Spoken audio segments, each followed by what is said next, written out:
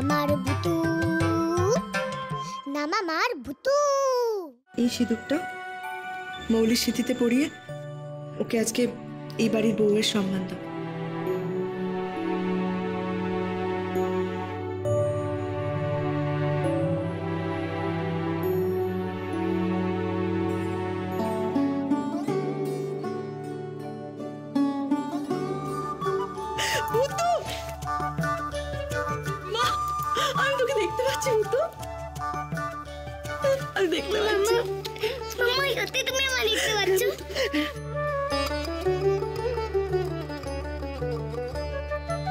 কি রে ভূতু? খুশি তো মায়ের কাছে আদর পেয়ে? হ্যাঁ দিদি আমি খুব খুব খুশি। ঠাকুর আমার কথা শুনেছে। মৌলি আমার বিশ্বাস তোমার আর নির্ঝরের মিলটা হয়েছে বলে ঠাম্মা ওপর থেকে আশীর্বাদ করলেন। আর আমিও ভূতুকে দেখতে পেলাম। ওপর থেকে নয় রে বড়নাথ বউ আমি তোর পাশেই দাঁড়িয়ে আছি। আমি তোকে আর ভূতুকে প্রাণ ভরে আশীর্বাদ করছি। মৌলি চলো তোমার বাড়ির সবকিছু বুঝিয়ে দিই। এসো।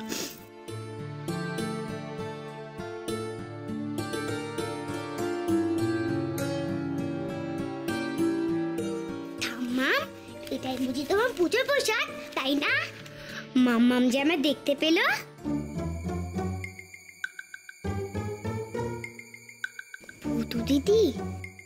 তুমি কার সঙ্গে কথা বলছো গো? এখানে তো কেউ নেই। এখানে তো কৃষ্ণা হালুম ভাই তো তোকে দেখতে পায় আমাকে তো দেখতে পায় না। ও যদি জানতে পারে তাহলে তো বাড়ির সবাইকে বলে দেবে আর সবাই ভয় পাবে। বল আমি তো নতুন বন্ধু। আচ্ছা আমার একটা বন্ধু রে কিন্তু তাকে সবাই দেখতে পায় না। তোমার বন্ধু কি নাম গো? বন্ধুর নাম? বন্ধু ঠাকুর ভাই তুই যা গিয়ে খেল আমি আসছি।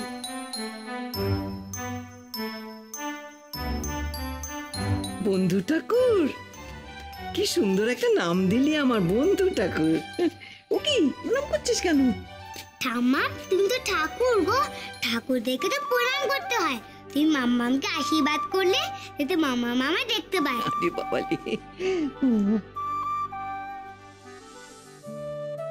কাজ সুসম্পন্ন হয়েছে মা। দেখে খুব খুশি হলাম তোমরা আমাদের ঠাকুমার কাজ এত ধুমধাম করে করলে। আমাদের ঠাম্মা বেঁচে থাকতে থাকতে কিছুই পাননি তেমন সারা জীবনে।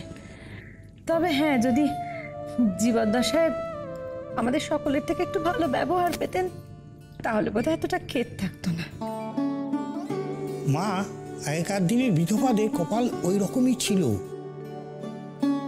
ওই যতটুকু যা গয়না থাকতো, সেটা যদি আগলে রাখতে পারতেন, তাহলে নিজের জনেরা ওই গয়নার জন্য একটু যত্ন আত্মি করত। না হলে তো কত বসতেন তারা। যাক, তোমাদের ঠাকুমা ভাগ্যবতী। স্বর্গে গিয়ে অন্তত এইটুকু দেখছেন যে তার নিজজনেরা চোখে জল ফেলছে তার জন্য।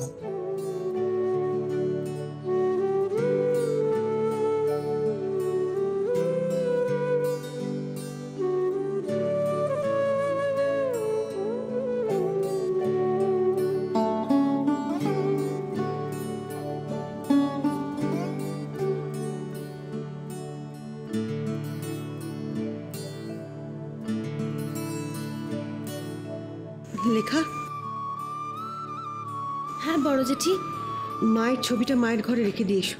যাও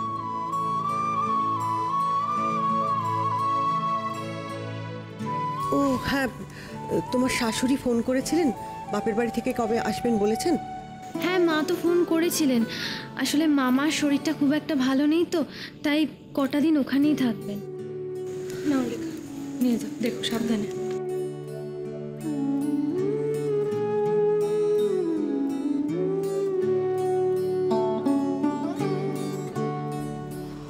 শোনো না বলছি। মা? হ্যাঁ? কি ভাবছ এত তুমি? তুই শুনলি তো? তোর ছোট কাকি আজকে বাপের বাড়ি থেকে ফিরছে না?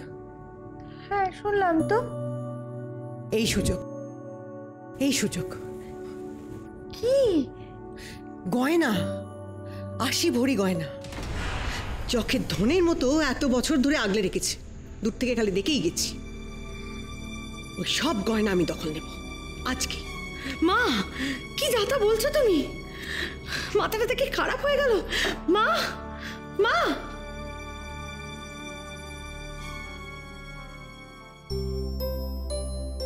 ঠাম্মা তুমি বিয়ের সময় চন্দ্রম পড়েছিলে? হ্যাঁ রে পড়েছিলাম তো।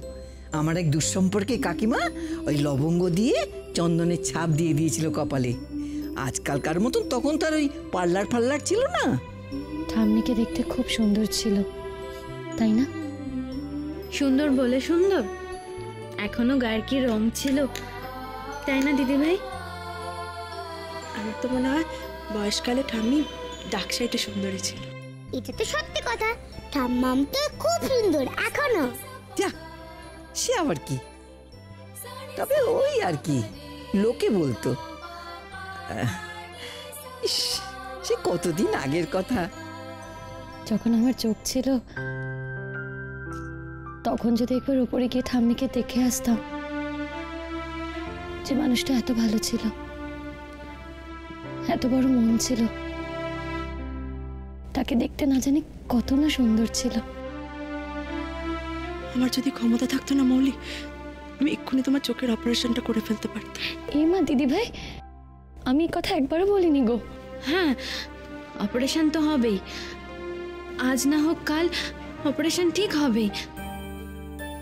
হ্যাঁ মৌলি সবাই মিলে যখন দায়িত্ব নিয়েছে অপারেশন হবেই। হ্যাঁ হয়তো একটু অপেক্ষা করতে হবে। কত কষ্ট বোধ দিদি তাই না ঠাম্মা হ্যাঁ রে ভূতু একটা ব্যবস্থা যদি করা যেত কিন্তু অত টাকা পাই কোথায় বলতো? ঈশানি ঈশানি কেন এরকম করছে? আমার কথা একবার ভাববি না। মা এত মিষ্টি লোকজন এসছে সকলকে দেয়া থোয়া করতে হবে ভাগ বাটোয়ারা করতে হবে তার মধ্যে আর এই সমস্ত কথা তুলো না তো। ছোট গিনি বাপের বাড়ি থেকে ফিরে এলে আর কিচ্ছু করা যাবে না। ওরে ওরে আশি ভরি গয়না চারদিখানি ব্যাপার নয়। মা আমি চাইছি না আর কোনো রেশারেশির মধ্যে যেতে। প্লিজ তুমি আমাকে বাধ্য করো না আর এই রেশারেশি, অশান্তি, ঝগড়াঝাটি, ঝামেলার মধ্যে যেতে। হ্যাঁ তা তো বলবি। তুই তো শুধু আমার খারাপটাই দেখিস। কেন আমি করছি সেটা ভাববি না? ওই গয়নার খোঁজ আমি কেন করছি? আমার যখন আরও বয়স হয়ে যাবে, তখন আমাকে কে দেখবে রে? আমার দুই ছেলে আর ছেলের বউ। কেন দেখবে? কি করেছি আমি ওদের জন্য? সেই রাগটাকে ওরা পুষে রাখেনি ভাবছিস? ওই গয়নাগুলো যদি আমার কাছে থাকে তবেই আমার ক্ষমতা থাকবে। দেখিসনি? তোর ঠাম্মার কীরকম দাপট ছিল? কি যে আবার চাপলো তোমার মাথায়? কোথায় আছে গয়না? ছোট কাকিমা জানতে পারলে একেবারে কুরুক্ষেত্র করবে। কেন? কেন কুরুক্ষেত্র করবে কেন? তোর ঠাম্মার জন্য কে করেছে? ছোট তরফ আমরা আমরা করেছি। তাই ওই গয়না এই বড় তরফ একা পাবে লক্ষ্মীটি চল চল, ঠাম্মার ঘরে চল। ঠিক পাওয়া যাবে গয়না। শুধু তোমার জন্য, মা।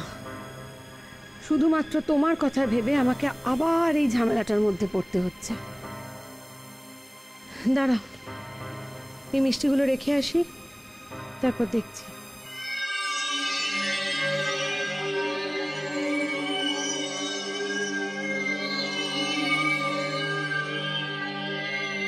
পেতেই হবে।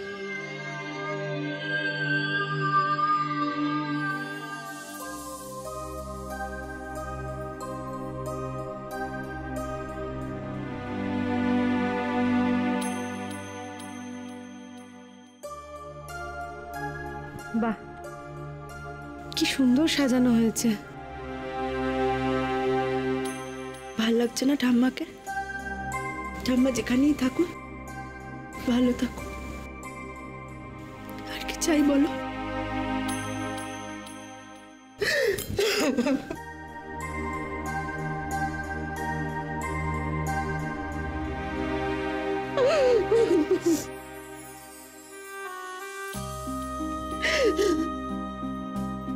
যতবার এই ছবিটা দেখছি, আমার খালি মনে পড়ে যাচ্ছে। কি ব্যবহারটাই না করেছি আমি ওনার সঙ্গে? আর ততবার আমার চোখে জল এসে যাচ্ছে। আমাদের দুজনেরই ঠাম্মার কাছে ক্ষমা চাওয়া উচিত, মা। বৌমারা, তোমরা একটু বাইরে যাও না, মা। আমি আমি মায়ের সঙ্গে কিছুক্ষণ থাকতে চাই, একা। হ্যাঁ মা নিশ্চয় এমনি তো রান্নাঘরে আমাদের অনেক কাজ পড়ে আছে। লেখা, চল। রান্নাগুলো করতে হবে। তুই মৌলিকে ধরে ধরে নিয়ে আয়।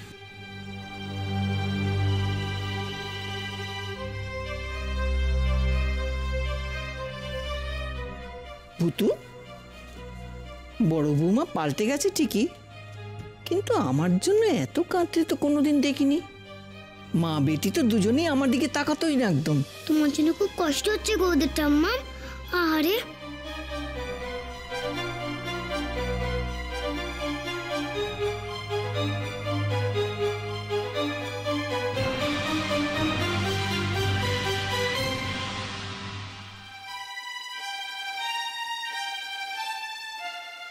দাঁড়িয়ে আছিস কেন হা করে?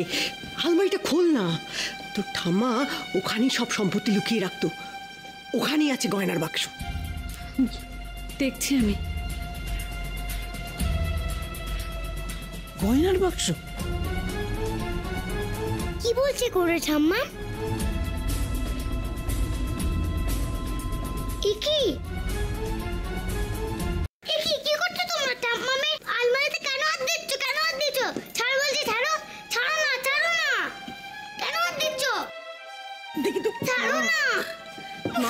করছ?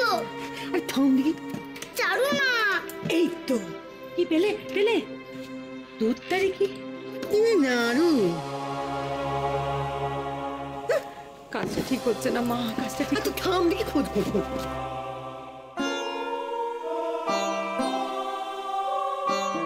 এটা কি হলো ঠাম্মা? তুমি বললে কেন তার নাড়ু নেই? হ্যাঁ মানে ওই একটা কৌটোই ছিল। ওটা আমার জন্য রেখেছিলাম রে। আমি ভালো ভূত বলে আমাকে মিথ্যে কথা বলছো তাই না? ঠিক আছে তোমার সাথে কোনো কথা বলব না, জন্মে ও বুতু শোন। ও বাবা আমি দেবো দেবো। ওখান থেকে তোকে একটা নাড়ু দেবো ও ওরা সব গয়না পেয়ে গেল। এবার কি হবে? ও বুতু এই শোন না দেখ না দেখ না বাবা দেখ একটু গয়না পেয়ে গেল ওরা।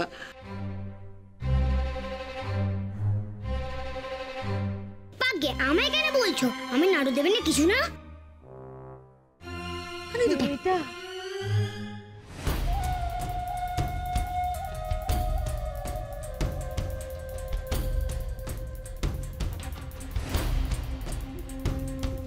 এই তো সে বাক্স। আচ্ছা আচ্ছা ঠিক আছে ঠিক আছে তোকে একটা নাড়ু দেবো ওখান থেকে? হ্যাঁ? তুই যা না ওই দেখ না ওরা সব গয়না ঘাটাঘাটি করছে সব পেয়ে গেল। তারপরে কি হবে? আমার শ্বশুর বাড়ি গয়না নয় ছয় করবে। আটকা ভুতু ওদের একটু আটকা। কেন আটকাবো মিশ্রি কেন আটকাবো? কেন আটকাবো আমি? তুমি নিজে ওই নাড়ু কোটরে লুকিয়েছো গয়নাগুলো নিজেই লোকাবে।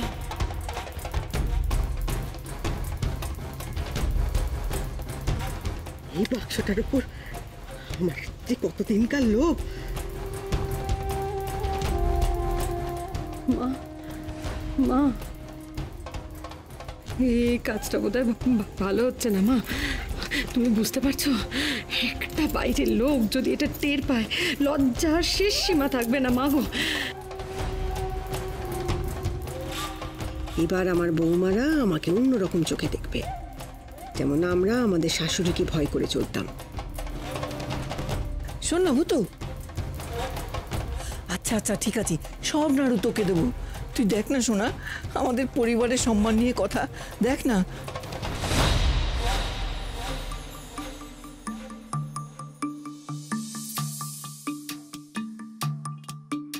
ছাদে চল।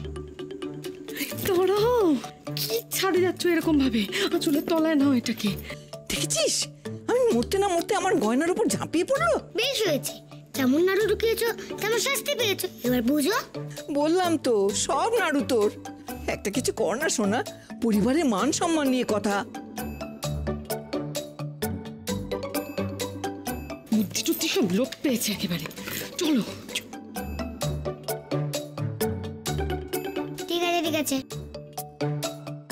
গিলি গিলি গে ফুসফুস লেমন জুস। ও গয়নারা তুমি এখানে চলে এসো তো প্লিজ প্লিজ প্লিজ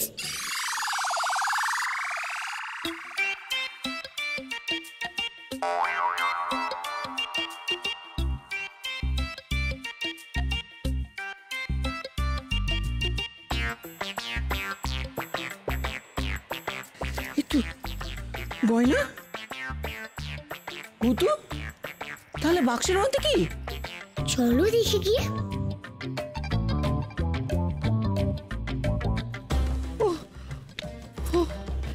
বাবারে বাবারে বাবারে। তোমার এই গয়নার বাক্সের পিছনে ছুটতে ছুটতে না আমার দম বেরিয়ে গেল। কে জানে বাবা যদি কেউ দেখে ফেলে কি হবে মা? ধুলোত্তরি! কে দেখবে?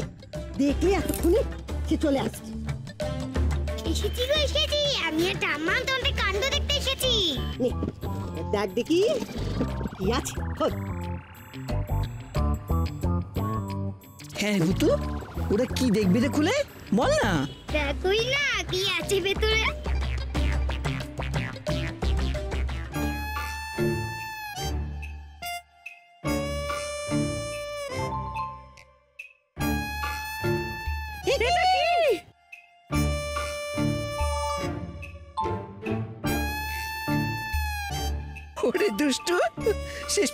গয়নার বাক্সের ভেতরে নাড়ুর কৌটা ঢুকিয়েছিস? কেমন ম্যাজিক করলাম বলো। একটা কাজও যদি তুই ঠিক করে আমি কি করলাম? কি কি করলি মানে তুই যখন আলমারি থেকে ওটা বার করলি তখন আবার দেখবি না? তুমি আমার খোঁচালে বলে তুমি গয়নার বাক্সের গয়নার বাক্সের মধ্যে নাড়ু আসবে সেটা আমি জানব কি করে। আমি গো সোদা পিসি আমি। আমি ঢুকিয়ে রেখেছি নাড়ু কৌটোটা। খুব ভালো খেতে হয় ঠাম্মামে বানানো নাড়ু শোন শানি ওই নাড়ু নিয়ে আমার কোনো মাথা ব্যথা নেই। কিন্তু যেমন করে হোক ওই গয়নাগুলো আমার দরকার। ওগুলো আমাকে পেতেই হবে। বললেই হলো আমি আমার ঠাম্মা মেচে শীতে দেবো নাকি এমন জায়গায় লুকাবো না কোনো দিনও খুঁজে পাবে না। হুম। একে নিরামিষ রান্না। খেতে ভালো না হলে তো বাড়ির একটা লোকও মুখে তুলবে না। এই লেখা একবার এদিকে আয় তো একটু দেখ তো টেস্ট করে।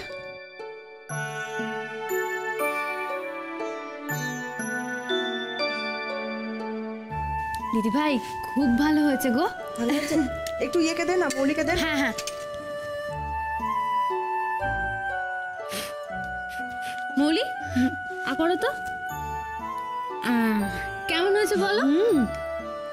সত্যি দারুণ হয়েছে দিদিভাই। বলছি তুমি কি কি মশলা দিয়েছ গো? কি করে হলো এটা? কি করে হলো? ওর এতখানি পরিশ্রমের ফল একেবারে জ- সব রান্না হয়ে গেছে? নিজেই তো কালকে বলে যে সব রান্না তুমিই করবে বাড়িতে। তা বেলা তো হলো খেতে দিতে হবে তো। মার সব রান্নাই হয়ে গেছে ওই ভাতটাই শুধু বসানো হয়নি। ককুটো চাল নেব বলুন না। একটা জায়গা তো আমি বার করে দিচ্ছি। হ্যাঁ এই যো। গিন্নি বানি হয়েছে এখনও এখনও চাল কতটা লাগবে সেটা বুঝুনি আমি দিচ্ছি।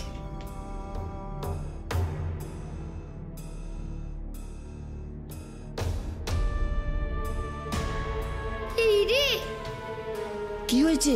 আমি চালের ডিব্বাতে কয়নাগুলো রেখেছিলাম।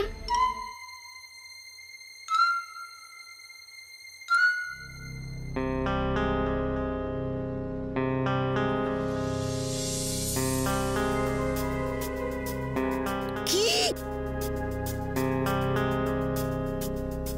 হয়েছে মা? কিছু না আরশোলা ভাবলাম আরশোলা যাও না যাও ওই ইয়ে করো খাবারের ব্যবস্থাগুলো সব করে ফেলো। আমি ভাত টাত করে সব নিয়ে যাচ্ছি হ্যাঁ যা যাও যাও যাও যাও। তাই ভালো চলো দিদি ভাই। আমাকে দাও কিছু? না না তুমি চলো। আমি নিয়ে নিচ্ছি।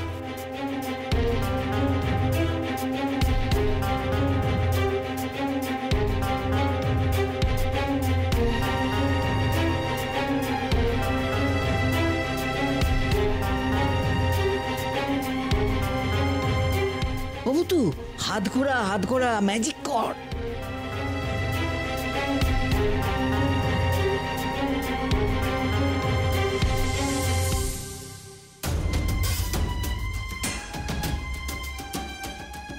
গিলি গিয়ে হুস ফুস লেমন জুস ও গয়নারা, তোমরা গিফটের বাক্স হয়ে যাও তো। Please please please